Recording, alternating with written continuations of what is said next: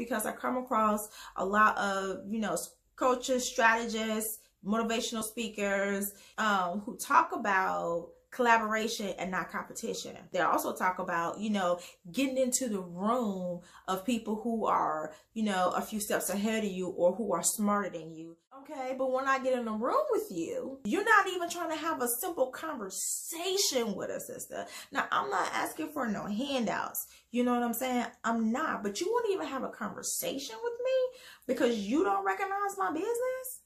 Or you look me up on Instagram real quick and I have less than 2,000 followers, so you didn't go no, over to that side of the room? Come on now. Why has to be like that?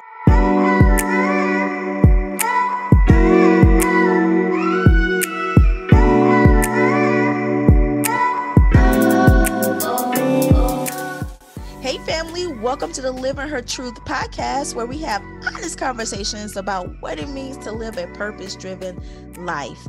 I am your host, LaKitia Woodard from LaKitiaWoodard.com, the place where women receive the tools necessary to feel seen, heard, and supported while pursuing their purpose. And now, every week, you'll learn those same tools through candid and transparent conversations. Hey family, thank you so much for taking the time to watch my podcast episode. I'm LaKitia Woodard, your host, and as always, I'm 100% invested in your self awareness journey. As you may know, I'm a self awareness coach who helps women pivot from perfection to purpose by creating an action plan that reconnects them to their dreams, their values, and their priorities. What you may not know is that the tools I teach you here on the podcast I share how I implement them in my daily practice on social media. If you're not following me on your favorite social media platform, I encourage you to do so. You can find me at LaKitia Woodard across all platforms. In the meantime, as this year winds down, I want us to have some one on one time together. We're going to have conversations about mindset, clear vision, rebuilding confidence, and vision boards to prepare for 2021 by revisiting conversations I've had on my social media platforms. I know you're probably over 2020, but we still need to make every minute, every hour, every day count until the new year. That means we need to prep. And yes, we have less than 30 days left, but it's never too late to get started. So, with that being said, please make sure to leave a comment so we can start and continue the conversation.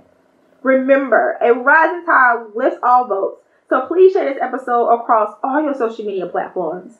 I look forward to chatting with you in the comments. On tonight, we're going to talk about scarcity mindset. So please take a moment to share this video with your family and your friends, especially that friend that you know is a little stingy and always in this scarcity mindset and making these scarcity, you know, references. Send this video to them as well. If you are catching this on the replay, thank you so much for watching. I appreciate you. Okay. Tell me your name, where you're tuning in from, so I can know where you are in the world. If you have any questions or comments, please leave them below this video, even if you're catching a replay. Okay, still leave your, your questions in the comments because I will definitely loop back around to respond to your comments and answer all your questions. So let's get into it. On tonight, I want to talk to you guys about scarcity mindset. So if you've been living under a rock, and just in case, or just in case you missed it, I have a new show called Living Her Truth that airs every Monday at 7 p.m. Central Standard Time on Facebook. And recently I interviewed Cindy Childress. Now, Cindy is the editor of my book, I'm Prepared 31 Days of Truth, Manifest your passion, power, and perseverance. And so I wrote my book like almost two years ago. So once I came out with my book, I got so many questions that even since then, people who are aspiring authors have been drawn to me. And so they've been asking me questions and I've been trying to answer you guys questions the best that I can, you know, but I decided to bring Cindy on the show for a number of reasons. Number one, she is just the coolest person that you can ever meet. She's the sweetest thing. She has a big heart. And once you know Cindy, you just love Cindy and want to be around Cindy. That's number one. Number two is so she can answer your questions. So you can, you know, get your questions your questions answered by someone who is an editor. You know, you can get the motivation that you need from somebody who is an editor and ghostwriter to get your book done. Because it wasn't until I self published my book that I realized that so many people have been working on books and have been working on books for years and just haven't finished. Or there are a lot of us sitting on book ideas and we're too afraid to get started, or we just don't know how to get started, or you know we just think that our writing skills are just so horrible that nobody will read our book which is so far from the truth. So bringing cindy onto my show was my way of pouring into you you know that episode was dedicated to my aspiring authors. So that way you can get what it is that you need to get you over the hump to get your book you know finished and published. Because we want published books in 2019 okay? Published books but um during the conversation, you know, she she poured into my audience like I knew that she would, um, aspiring authors. Um, but she also, you know, poured into other editors, other publishers, other ghostwriters, because she offered those who are watching the video who are editors, publishers, and ghostwriters to connect with her. Send her your contact information because she is in a season of access. She's been getting so many projects. She has been getting so much work that she's not able to handle it all. So she wants to have the ability to give you her access. All you needed to do was connect with her in some type of way. And she will put you in her little black book and when access comes, she'll just pass the pass that work off to you or pass that opportunity over to you. How amazing is that? Right? How amazing is that? Because she did that, that's what sparked me to want to come on here and do this this video because scarcity is such a huge thing, especially in the entrepreneur, small business, um, realm. You know, starting a business is already hard enough, you know, because it comes with a lot of challenges, especially, you know, being a newbie, not sure, you know, what it is that you're doing and things like that. So when you reach out to people, not everybody is willing to help you. Right? Not everybody is willing to help you. And I have experienced this myself. And I realized that a lot of people have a scarcity mindset and it's no reason for it because there's enough prosperity in this world for everybody. There's enough prosperity for everybody, but you still run across people who have this scarcity mindset. And it's so crazy to me because I'm here, you know, on social media, you know, um, promoting my business and then I come across your page because our businesses are, you know, similar or you're just a business owner in general due to the algorithm, you know, the algorithm. I come across your page and you're, you know, preaching and speaking about, you know, sisterhood, supporting one another, you know, collaboration, not competition. And then when I reach out to you, you know, you're like shutting me down. Like, no, nah, I'm not doing that nah, uh-uh, not doing that. And don't get it twisted. Okay, everybody doesn't have to say yes to me at all. You just don't.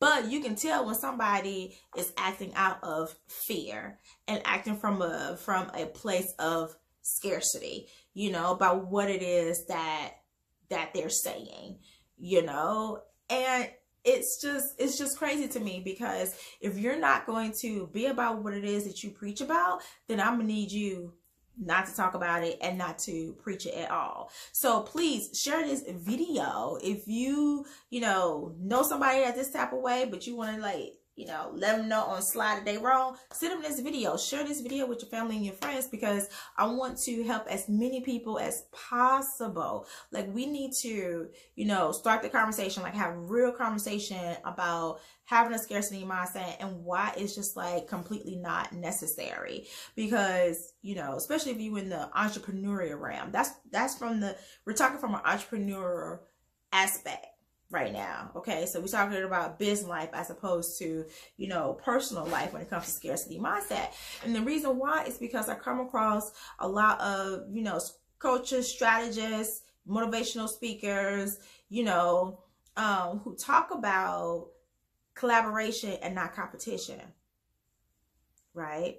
They talk about that. But then when you reach or they talk about okay? They, they also talk about you know getting into the room of people who are you know a few steps ahead of you or who are smarter than you so you can learn something right? Because if you're the smartest person in your clique you know you're gonna be stifled. Like that's not the clique that you need that you need to you know you need a new clique.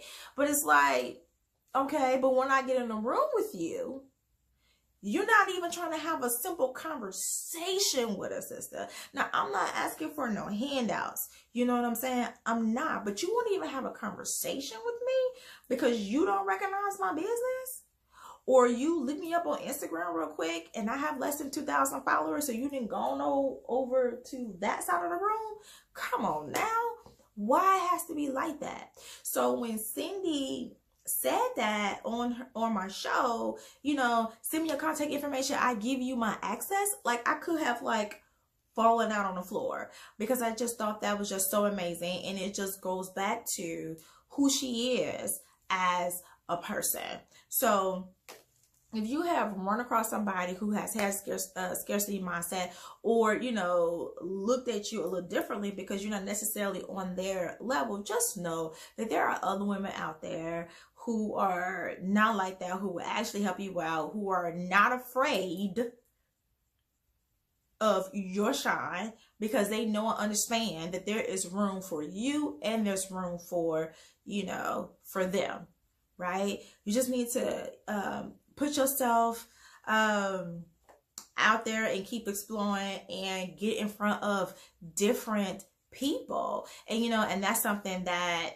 I uh, needed to do, that I recognized I needed to do.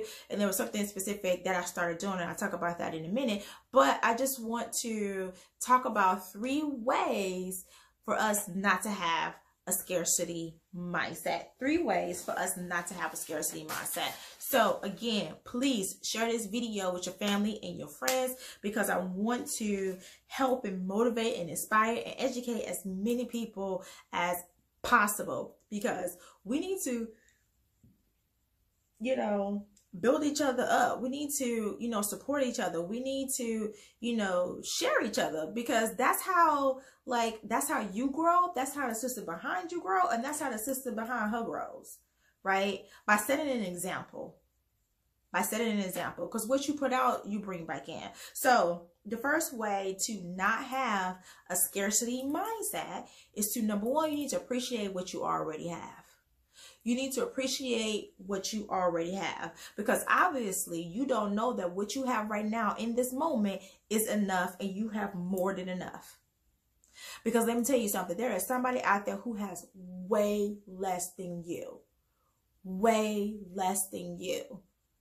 Okay, I am sitting in this 3,000 square foot home, you know, in my own private room where I'm able to run my business from my from my house. You know what I'm saying? I can go to the grocery store. I have that's right down the street and get fresh fruits and vegetables. I have clean filtered water throughout my whole house. I need to be grateful for what I have because there are people who don't even have indoor plumbing. Let's start there. So when you have a scarcity mindset, it's because you don't appreciate what it is that you already have right now. You don't realize that what you have is enough. And if God never given you another blessing after this moment right here, that you still need to be grateful. He has done more than enough for you. Having a scarcity mindset is because you don't appreciate how can you have a, scare, a scarcity mindset and appreciate what you have. You don't. Because if you have a scarcity mindset, you think that you just need to get, get, get, get, get, get, get, get all the time. I need to hoard this. No, you can't have this pillow. Get the girl the damn pillow. God can give you another pillow. Stop limiting God. You know, stop putting a limit on his blessings right? The more you give, the more you get back, and we'll talk about that in a minute. So the second thing that you can do to eradicate your scarcity mindset is to stop being stingy. Stop being stingy. I'm gonna need you to share your candy with somebody.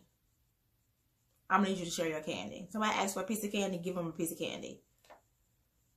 Somebody wants to have my pillow, you can have the damn pillow. The next time you are out hanging with your girl, you know, with your bestie, your BFF, pay for her dinner. Like, stop being stingy because when you give a little bit more in your personal life, then you'll start to, to, to see and reap the rewards because the more you give, the more you get back in return. So if you're doing this in your personal life, then it's easier for you to do this in your business life.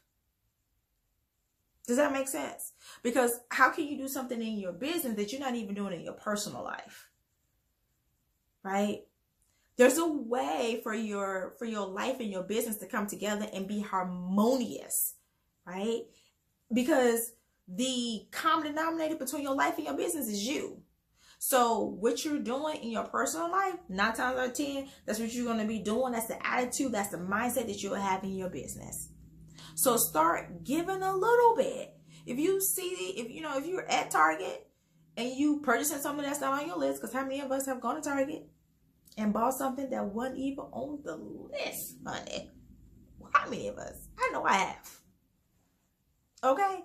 So if you go into Target and you shopping for something that's not even on your list, but you see a hair product, a random hair product, and you know so and so is, you know, having trouble with her natural hair, pick up the the the, the ten dollar hair product and give it to her. Stop being stingy. Stop being stingy. So we're talking about the three at this point, we're talking about the three ways to eradicate your scarcity mindset. And the first way is to appreciate what you already have because it's hard to have a scarcity mindset while appreciating the little things that you already have. Because guess what? There's always somebody out there who has less than you. I don't care how how little you have. There's always somebody out there who has less. Always. So appreciate what you already have. The second thing that you can do is to stop being stingy. Give a little bit. Share a little bit. Okay? Because if you're sharing more in your personal life, then you're going to start, you know, experiencing and reaping the rewards of sharing and giving. And then it'll be easier for you to share and give in your business when appropriate. Okay? The third thing I want to encourage you to do is to put out the energy that you want to attract. Put out the energy that you want to attract. If you putting out this energy of scarcity mindset, everything is all about me, me, me, me. I'm not trying to share with you. No, no, no. I'm trying to keep this and this and this and that away from you. I don't want to put you on. Guess what? You're going to start attracting people who are the same way. And, you know, Contrary to popular belief, in order for you to grow in your business, you need to expand your network. This is something that I am personally working on, expanding my network. It's important for us to do that. Expand your network, right? But if you're constantly, you know, coming in, you know, coming across people who had who also have that scarcity mindset, it's going to be really hard for you to do that. It's going to be really hard for you to do that. So what I was alluding to earlier on like um what I did. So early on in my business, I started running in, I started noticing that, okay, why am I running into all these women who, uh, who have this like scarcity mindset as it relates to, as it relates to business. And so I was, uh, getting a little jaded by it, you know, um, for, for a little while there. And so then I had to self correct. I had to check myself, you know, and say, okay, Key, you need to start putting out what it is that you want to get back. So you're asking people, hey, share this flyer. Hey, Would you post my book or whatever the case may be, right? Introduce me to your audience, whatever it is. You're asking people to do that for you, but what are you doing for other people?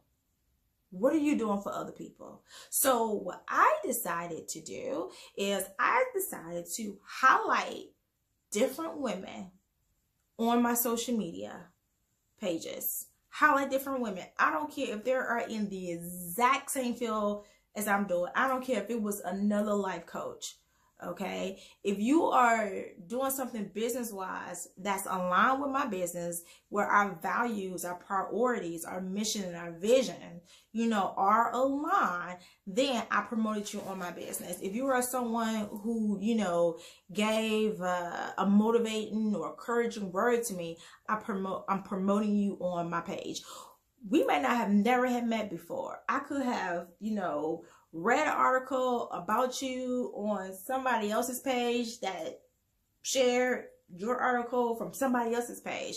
If I think that you're amazing and our business are aligned, then I highlighted you or I will highlight you on my Instagram page, my social media pages, my Facebook page, right? Because I'm like, I want to put out there what I want to attract back. I want to show other women that I'm not afraid to share this space with them.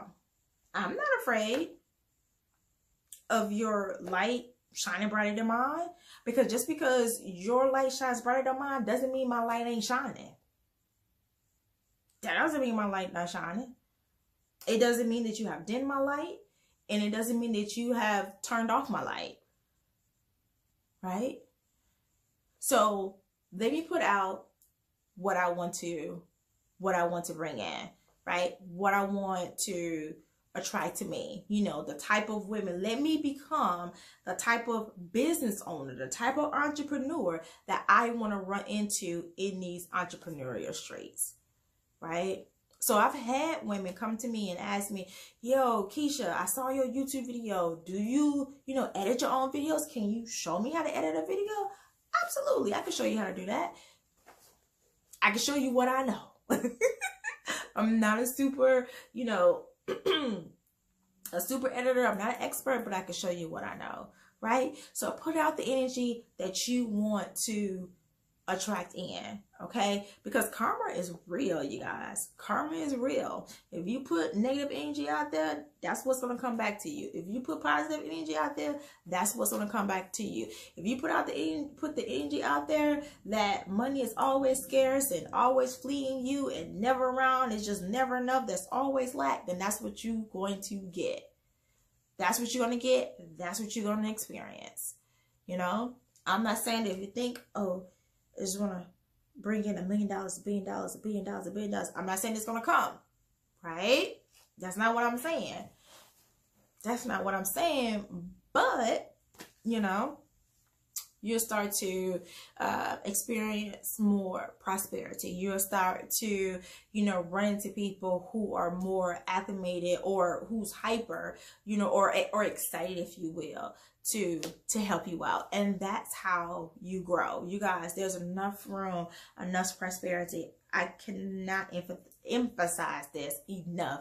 There is enough for all of us to go around there is no need for us to hide information not make an introduction you know not share you know information you know not uh post a flyer you know to to our tribe, there's no reason not to do that. Because guess what? You were in my shoes at one point in time.